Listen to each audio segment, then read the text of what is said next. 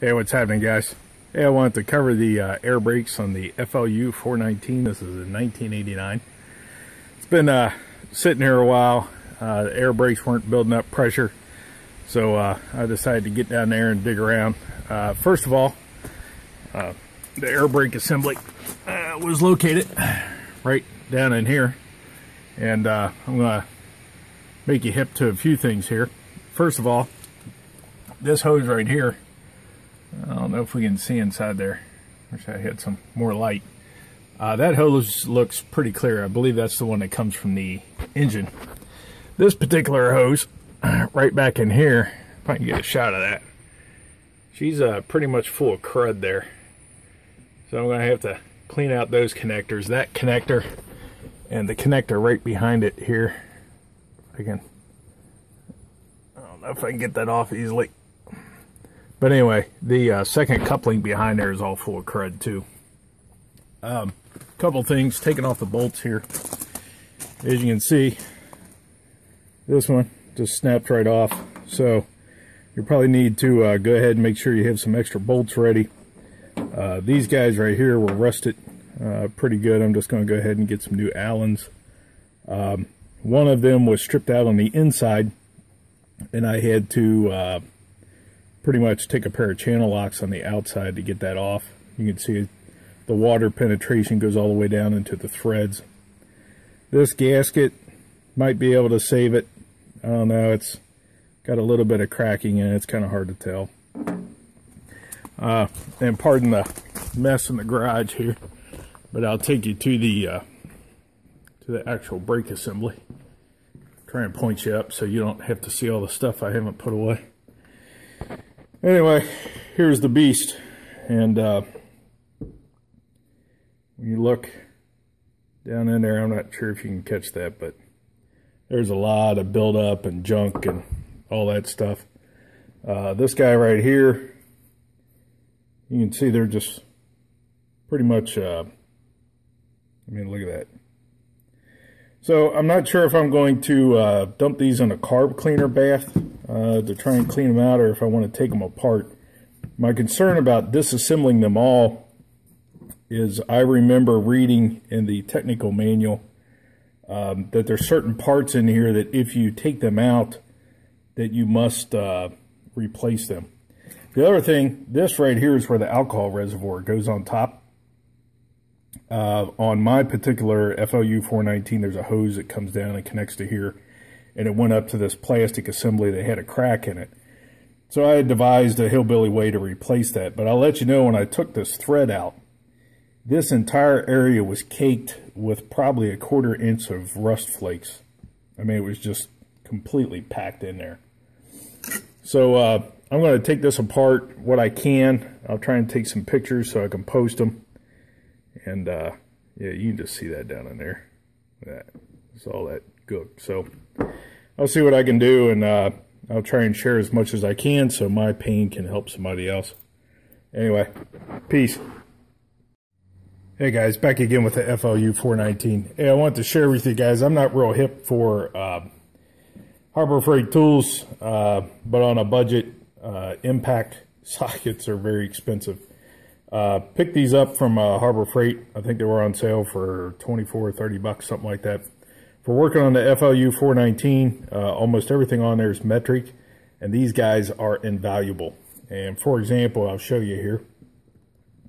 We've got this uh, air brake assembly here, and as you can see, this guy is completely corroded down inside there. so much so I was trying to take a nail uh, that I had bent at a 90 degree angle and I was trying to basically pull this stuff out of here, it broke the end of the nail off. I mean, that's, I wish I could autofocus there because, I mean, you can just see a tunnel down in there. Anyway, trying to get this guy off. These are big guys. These are like 27 millimeter. So, um, if you're trying to work on a FLU 419, I would highly, highly, highly recommend um, some good impact sockets. Uh, deep well is pretty much required for this stuff. Uh, good set of big wrenches, uh, crescent wrenches, um, Allen's. There's all sorts of weird stuff you'll encounter on this. Uh, some stuff on the FLU 419 is so big that uh, I can't really find tools for it. Uh, so sometimes you have to weld and make your own tools. Like, uh, for example, the uh, draining the transmission fluid, I could not find anything big enough to fit up in there. so I had to take a bolt whose nut would fit up in the hole of the uh, of the transmission case uh, nut. And once I got that bolt head to fit up in there, then I went ahead and took a bunch of nuts and welded them all together.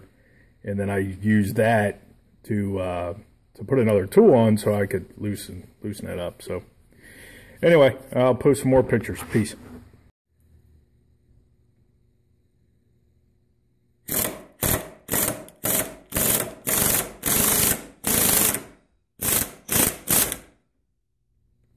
Yeah, let's take a look. Yeah. Little, just a little bit of crud and corrosion down in there. Holy cow. that is absolutely ridiculous. Let me see if I can find something to fit down in there. Look at this.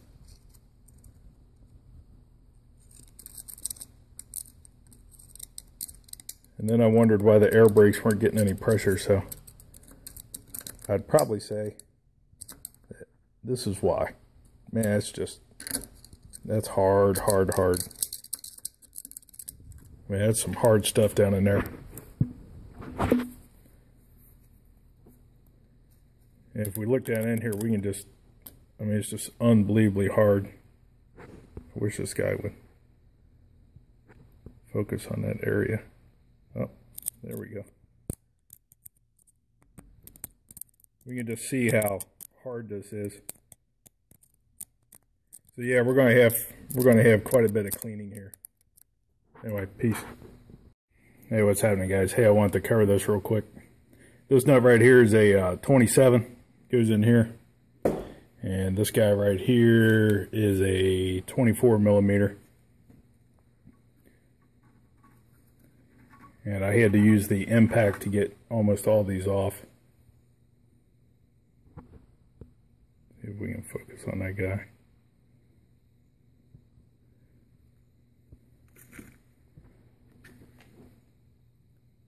Yeah, doesn't look too bad inside there.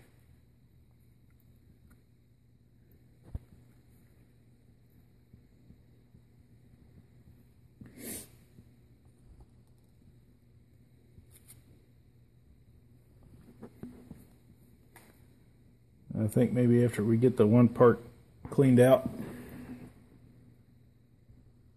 Yeah, doesn't look too good. That doesn't look too bad down in there. We'll get it all cleaned out. See how she looks.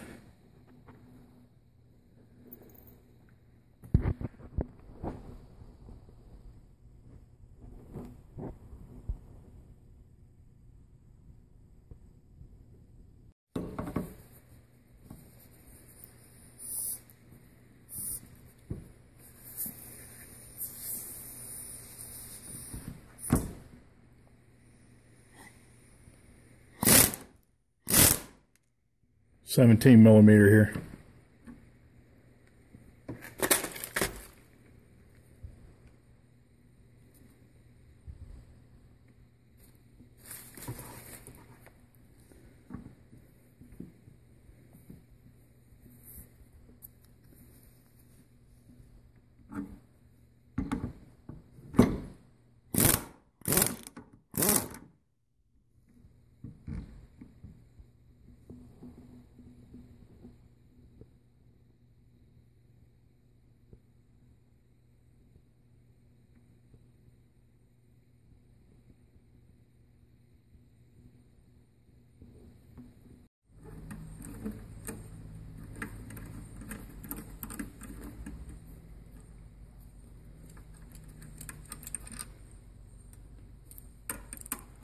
10 millimeter.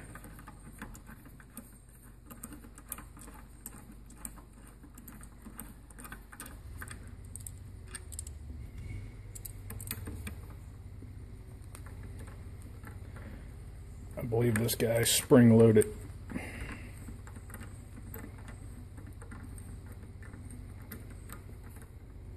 Yeah, I almost almost guarantee you it's spring loaded.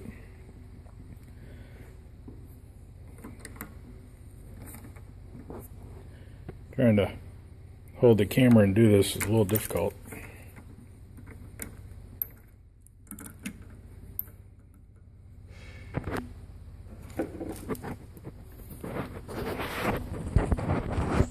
Try to hold this guy right here while we do this.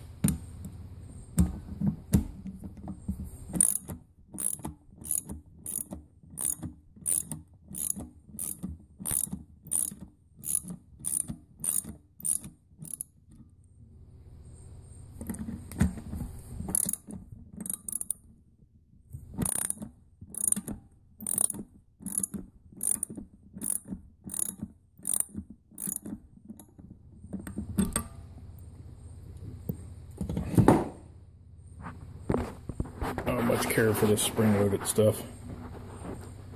I'll try something a little different here. Alright guys, she was uh, definitely spring loaded here. You can see down in here. Try and gently pop this guy out of the vise. Yeah, she had a pretty, pretty big spring on there. As You can see the uh, I flip this right side up, the Bosch symbol goes with that opening right there. We'll try and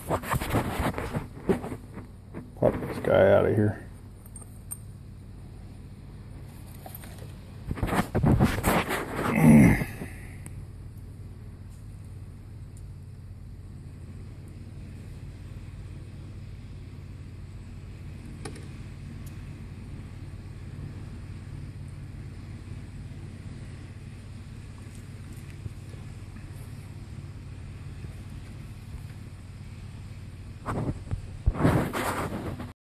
Alrighty, guys. Hey, I figured I'd share this one because it's pretty important. Uh, this little mechanism right here is a spring under it, and it's under a lot of pressure. I mean, a lot. So when you take that uh, circlip out of here, it uh, shot off, bounced off the ceiling, and went, I don't know, back down behind the bench.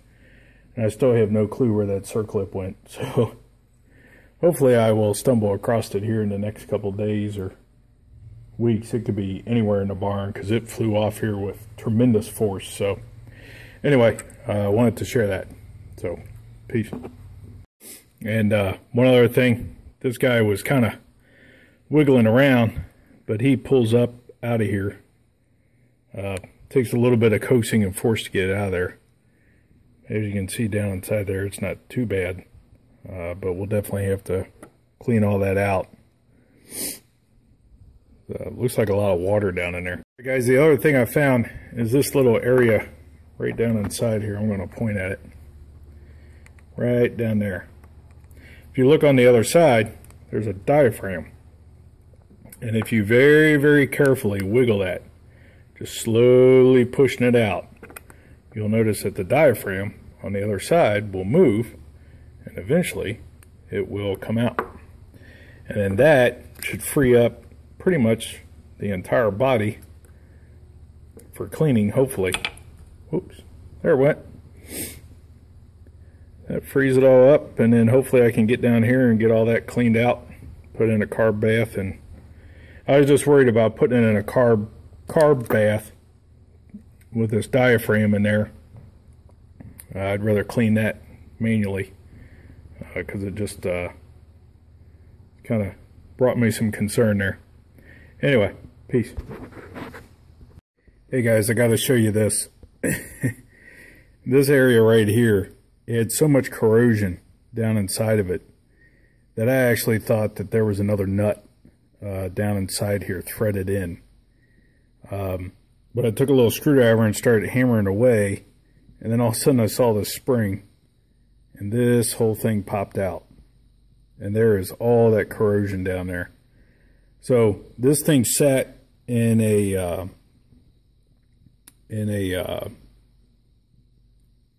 carburetor bath for probably about an hour, and uh, stuff still wasn't breaking free. So I had used a uh, Look at this. I had used a uh, PB blaster and this stuff was literally caked on so much that I actually thought that there was another inner nut down in here. So I'm going to try and pull all this stuff out, get all this cleaned out, and we'll move on from here. But I wanted to show that to you guys.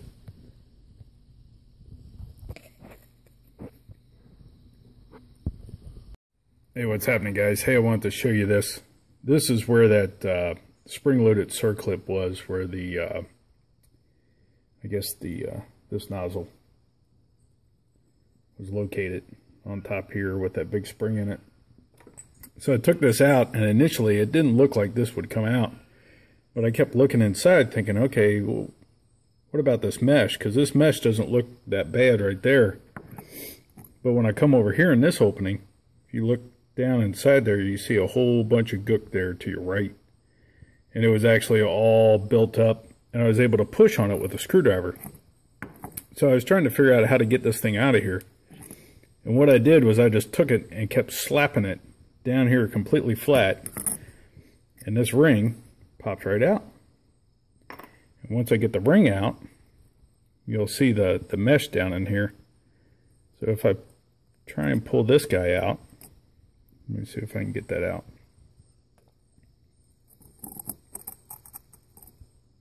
He's stuck in there pretty good. So anyway, this looks like some type of filter mechanism. Almost looks like a whole bunch of wool wound together or something. This guy, he doesn't look that bad at all. Try and get that guy out of there.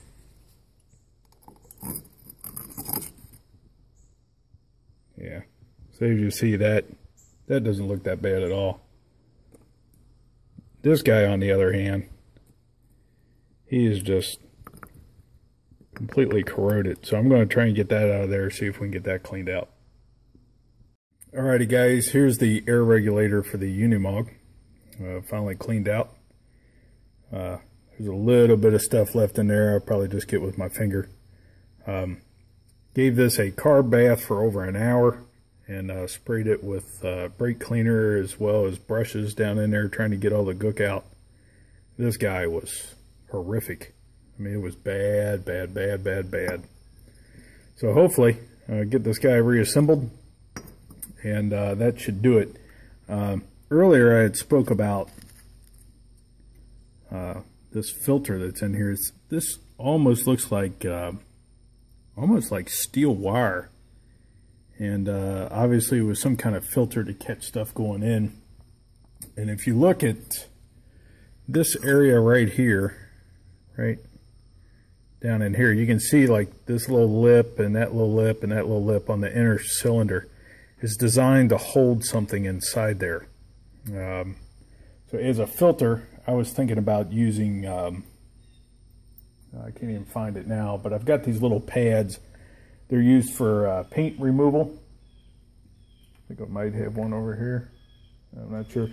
Anyway, they're used for paint removal, so I'm going to cut one of those to size and put that down in there because, and they're a synthetic material because considering that it's a uh, it's a system that's bound to get water in there, I can't see putting uh, steel mesh down in there and ending up with with this again because this is that's bad, bad, bad, bad.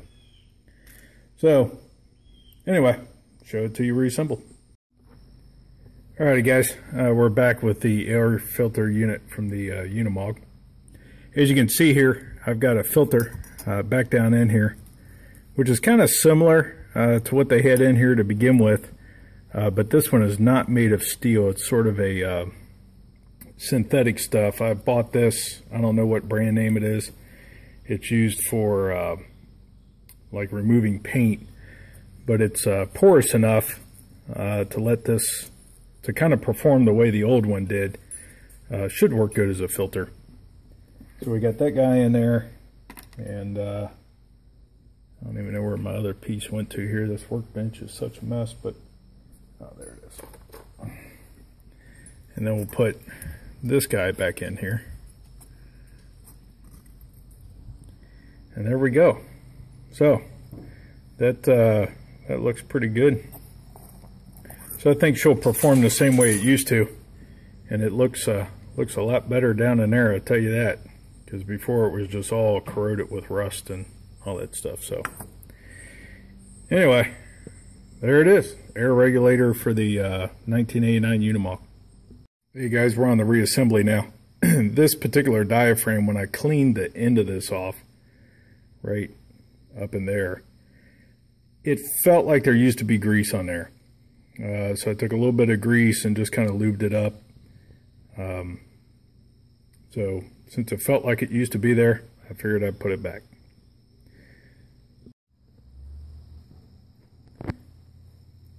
And I put this guy back in here. Um, lube the outside surface of this with some uh, saliva.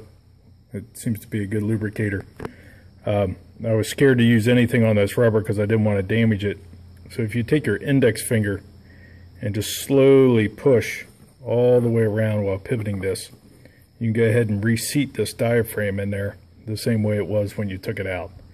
Uh, you're not going to get it by just simply pushing it down in there. You got to run your, your fingertip around to get it smooth and flat all the way. All right, guys, I'm cleaning out this uh, this area right here, and what I wanted to show you about the buildup is this area right in here actually looks like it's part of the assembly. I mean, it's flat, it's smooth. It actually looks like it's like it's part of it. And I found this inside the the uh, air regulator as well. But what I found out, if you take a small screwdriver and you stick it down in here and you pound on it with something kind of light, this stuff will break away. And as you can see, this is like uh, this is like years and years of eating at Golden Corral or something. I mean, this is just terrible. So uh, anyway, all this has got to be cleaned out. So peace. Hey, what's happening, guys? Back here with the FLU 419, day two of the uh, air brake system. Uh, this particular piece right here was the first piece uh, I believe I showed you guys. Uh, it was just completely and absolutely corroded. Um, I mean, you see the diameter of this thing. I'd probably say you couldn't, you could hardly fit this screwdriver down in there. So I want to share with you uh, how I cleaned this out. Um, first of all, I shoved a screwdriver down there to get as much out that I could. Then I took a larger diameter screwdriver, shoved that guy down in there, try to get as much out as I could. Uh, steel wire brush the outside, and as you can see here, let me try and get this in focus. You can see right here along this edge, the pitting and rust was so bad that it's actually, you know, damaged the, the metal there. So I can kind of live with that, but the inside of this, I was really concerned to get clean uh, because if there's any kind of stuff inside here, um, it, it's just going to catch more material. So that being said, I could not find my circular file anywhere. And if you look at my bench here, it's probably, you know, there's no doubt why I couldn't find it. so anyway, I found some, uh, I think this is like 40 grit uh, sandpaper. And I just cut a, a longer strip than this off. And then what I did was I came along and I kind of shoved my thumb down here in the center. And I kind of folded this a little bit, trying to create like a little V going down there. So it's a little con, so it's a little concaved. So I shoved my thumb down here in the center, and I kept folding this stuff over until I could get a nice curve to it all. And once I did that, I simply took a long strip while it was in the vise, shoved it down through here, reamed it back and forth, completely around to get the bulk of it out. Then I took this stuff in here, this stuff in here. This is uh, what I use for the inside filter. Uh, saturated that with some good old PB Blaster. This stuff is awesome. Sort of like WD-40 on crack. If you've never used it, it's it's amazing. Uh, shoved that down in there, soaked this guy, ran it back and forth as much as I could. And I'll show you what the result is here. Loosen that up just a little bit. So now, take a gander down inside there. There's still a little bit of material down there. I'll try and get some brake cleaner down there to get some of that stuff out, but it's uh, it's a thousand times better than what it used to be, and I mean it was bad, just completely and absolutely corroded. So anyway, guys, there we go. I will keep uh, filming this on the reassembly, and uh, hopefully we'll have you some uh, some stuff here. Peace. All right, guys, here we go with the reassembly. As I indicated earlier, this piece right here has a spring under it that's under tremendous pressure. This uh, this clip right here, I actually found it way up there in the ledge, like up near the light. It had bounced up that high, so here I was climbing up on top of the bench. Anyway, make a long story short, I believe this is a six-inch vise, and uh, it's kind of pushing it because by the time you extend everything out, um, you can't get your vise to thread again. So what you got to do is put a little bit of pressure on this guy, wedge in another block of wood because I don't want to mar these guys up.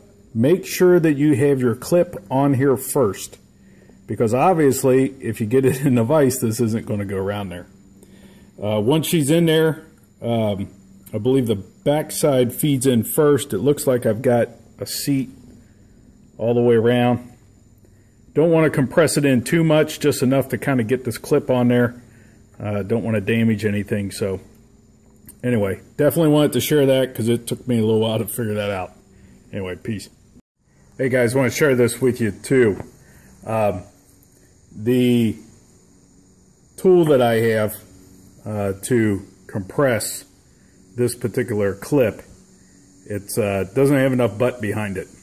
So that being said, uh, while I work on this, I went ahead and took some electrical tape and I just kind of taped it around because that way, in case this guy springs off again, I don't want to spend, you know, four hours looking for it. So I'm going to try and devise some method to get these clips back in there. If I got one down, it's not that big of a concern. I, I'm pretty confident I can get the other one down, but with both of them being up like this, I'm running a pretty big risk of this guy popping back out of there. So, want to share that with you. All right, guys, here we go with the FLU 419 1989. this stuff is finally clean, uh, pretty much 99% reassembled. Still got to put the cover back on here and the spring and the plunger. Uh, I want to pick up some new Allens for this. Uh, some things I wanted to uh, share with you regarding reassembly. Uh, one, all my gaskets, I'm going to point at these with the screwdriver here all my gaskets down in this area were just ate up. Uh, so I just replaced those with, uh, I don't know, whatever gaskets I could find to fit.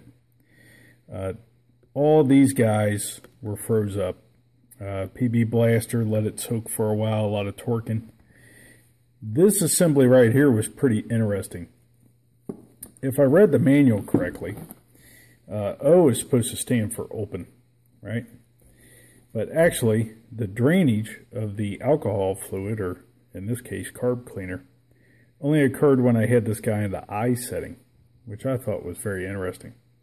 Uh, however, this guy functions, uh, best I can tell, a lot like a carburetor. You got ports and stuff along the side here. Tiny, tiny holes uh, down in here, which I had to clean out with some uh, copper wire. Um, this entire system was contaminated with just unbelievable stuff. And from what I could tell, this particular vehicle had a hose bib, a hose attachment going here up to the alcohol reservoir. And the alcohol reservoir was actually uh, cracked. And I believe this guy sat in the open position, which created a vacuum. So it sucked in water, sand, dirt, everything else it was so contaminated. I mean, even even these connectors here, uh, I mean, I cleaned them out, but they were just totally, totally encased. Um, I mean, just plugged completely full. Um, I did check the line uh, going to the other side of the MOG to the tanks. The line appeared fine, however, the couplers on the opposite side near the tanks were also uh, clogged up. So uh, this is pretty much it. I got to swing up the hardware store, pick up a couple more bolts for here. I uh, got my homemade Hillbilly alcohol container. Uh, if you guys haven't seen that, check out another video.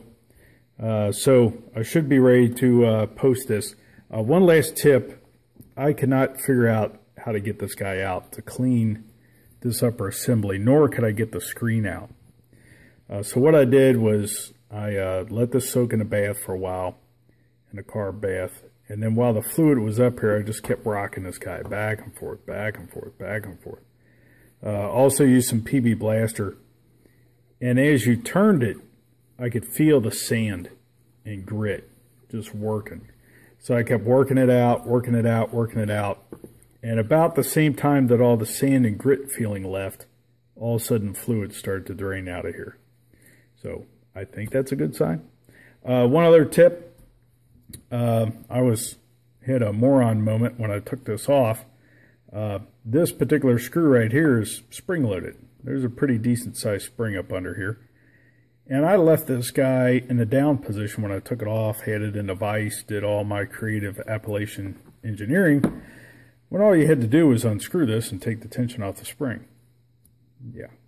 So anyway, nice uh, male moment there. Um, so anyway, uh, put this back on with the impact, just barely tapped it on there. Um, the body of the vehicle goes right here. This nut goes from the inside. Then my couplings go up to my hose here, and that goes over to the tank. These guys, I don't have tools big enough to fit these, so I'm going to have to use a crescent wrench. Um, this guy right here was severely corroded. I mean, really, really bad. Uh, now I checked the other side of the vehicle and they have rubber caps on these. And those guys look like they're brand new. Just came off the showroom floor. Uh, but to give you an idea of some of the uh, some of the gaskets that were on there, they kind of look like this before I took them out. Yeah. So, um, kind of is what it is. Um, so anyway, got those guys out of there. I think I've replaced two or three of them. Uh, I think I also replaced the gasket on this guy. Uh, it's kind of a tight fit. I don't plan on using that that too often. Uh, the other thing I did was I put some uh, grease on the inside of this guy. And that's pretty much it, guys. This guy took forever. It was my first time. Uh, I don't think I ever want to do this again. but I will be happy to have uh, air brakes back on the Mog. So anyway, uh, there's a FLU 419. I forget the other part numbers that it may go under. Uh, to let you know, this is a Bosch right here. And the brand name on this is a Wabco.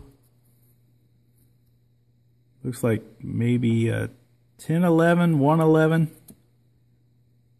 1994, I think it is. 932, trying to read the numbers here. 932-002-0000. Yeah. So anyway, there you go. And uh, I promise next time I do a video, I will try and have the uh, barn cleaned up because obviously you can see one project led to another project, which led to another project, which I worked out a little bit down there. See, got bored. And then that led to another project, which led another project. anyway, uh, hey, penny saved for the kingdom is a penny earned. And uh, I know cleanliness is next to godliness, so apparently God is not going to be too close to this barn. anyway, peace.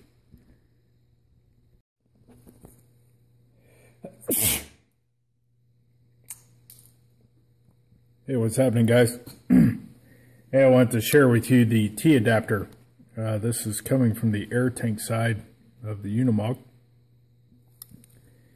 And, uh, hey, what's happening, guys? This is the uh, T adapter from the, uh, come on. Sorry about the focus here, guys. I'm trying. This is from the air tank side of the Unimog, uh, there was a compression fitting on here, and this guy was seized on there so bad I had to put vice grips on it and then hammer it from the backside to get this thing off finally. So, as I look down inside here, see if I can get a focus on, on this. Yeah, this is not nearly as bad as the side where the air regulator was. Now keep in mind that this has been soaking in a carb cleaner for probably five hours. And it's still pretty, pretty hard. So I'm going to have to clean these guys out. But I wanted to show you this uh, so you can definitely check the side where the uh, where the air tanks are. I would assume that the airlines coming back out of the air tanks are probably not this bad. Uh, I'll check those, but I don't believe they are. Anyway, be sure to clean all these.